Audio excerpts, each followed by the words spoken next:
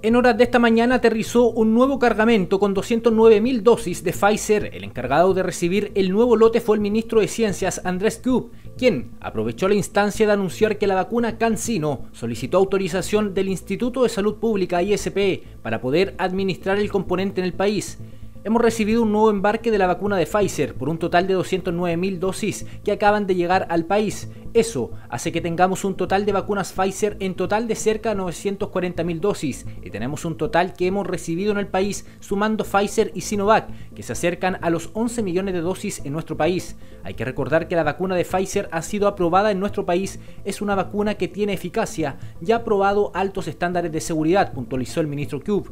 El secretario de Estado anunció que la vacuna del laboratorio CanSino, la cual contaba con ensayos clínicos en Chile, ha solicitado la autorización al Instituto de Salud Pública para aplicar la vacunación en nuestro país. Tendremos más detalles en los próximos días.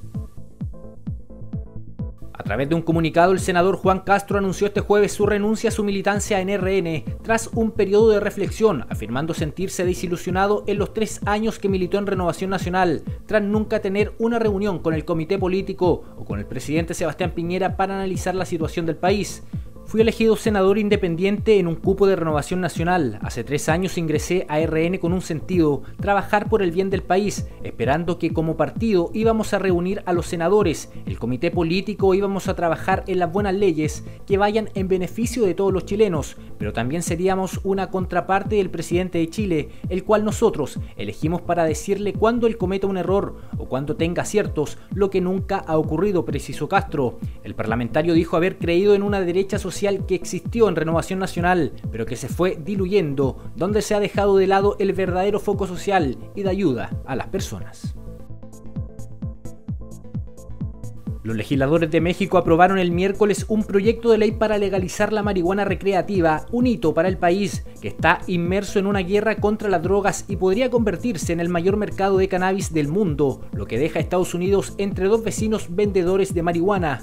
La votación en la Cámara de Diputados 316 a 129 se produjo más de dos años después de que la Corte Suprema de México dictaminó que la prohibición de la marihuana recreativa en el país era inconstitucional y más de tres años después de que el país legalizó el cannabis medicinal.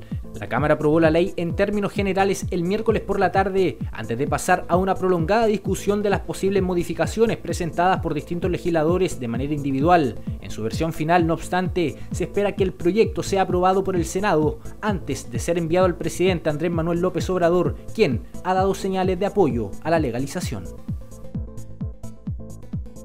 Japón conmemoró con gran emoción este jueves el décimo aniversario de la triple catástrofe del 11 de marzo de 2011, un terremoto, un tsunami y un accidente nuclear en Fukushima que ha traumatizado para siempre al país. A las 14.46 horas japonesas el sismo sacudió al noreste del país aquel 2011, se guardó un minuto de silencio en todo el país, luego se celebró una ceremonia en la que hablaron el emperador Naruhito y el primer ministro Yoshihide Suga.